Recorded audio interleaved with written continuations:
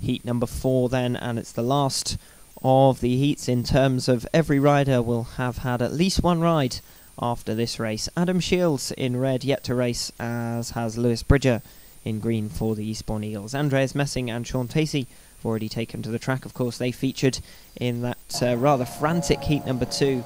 Riders three abreast into corners and so on and so forth.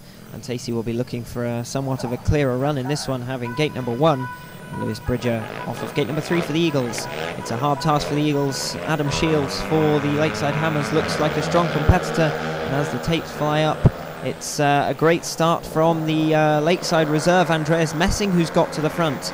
Lewis Bridger looking around the outside to pass Messing now, blasts around in the dirt and does just that. A good move by Lewis Bridger there. Shaun Tacey putting pressure on Adam Shields at the back, but is unable to find a way through as Shields blasted past him in the early stages of this one.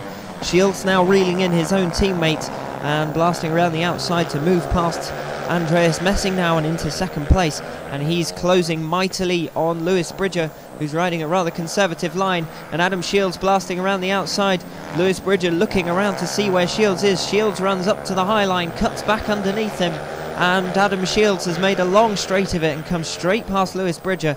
Bridger looks to come back through up the inside, but Adam Shields is fast enough to deal with that one, and it looks like Adam Shields has made a brilliant pass to come through for the Lakeside Hammers and give them another heat advantage.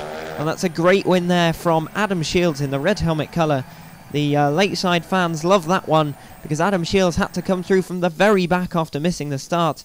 And as you can see here, it was a brilliant pass. He ran wide, turned back, and came through on the inside of Lewis Bridger. Andreas Messing getting third place to give the Lakeside Hammers a heat advantage. 4 2 up in that race and 16 8 up overall.